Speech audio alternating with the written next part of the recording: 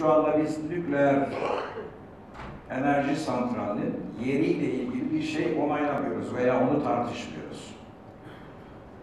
Santraldan çıkacak enerjinin belli bir yerde depolanması ve daha sonra bu sevkiyat zannedersem Muğla tarafına kadar o tarafta, İç Anadolu'da Konya'yı, Isparta'yı aşıyor.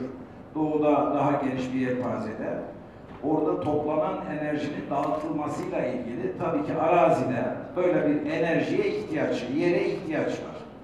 Yerin tabii ki şu an e, büyük oranda çalışmalar da başlamış durumda fiilen. Ben e, bizzat aldığım bilgiler dahilinde. Bu santralın o bölgede teknik olarak incelenip uygun görülmüş ve bizim de bizden istenen 5000'liklere işaretlenmesi. Yapacağımız başka bir şey yok. Onun şekli ben bu konuda kısa bir bilgi olsa vereyim diye düşündüm. Sağ olun. Evet, başka söz talebi? Yok. Komisyon raporunu oylarınıza sunuyorum. Kabul edenler? Kabul etmeyenler?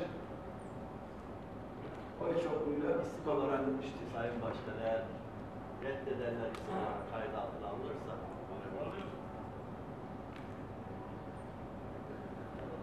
reddedenleri tekrar görelim.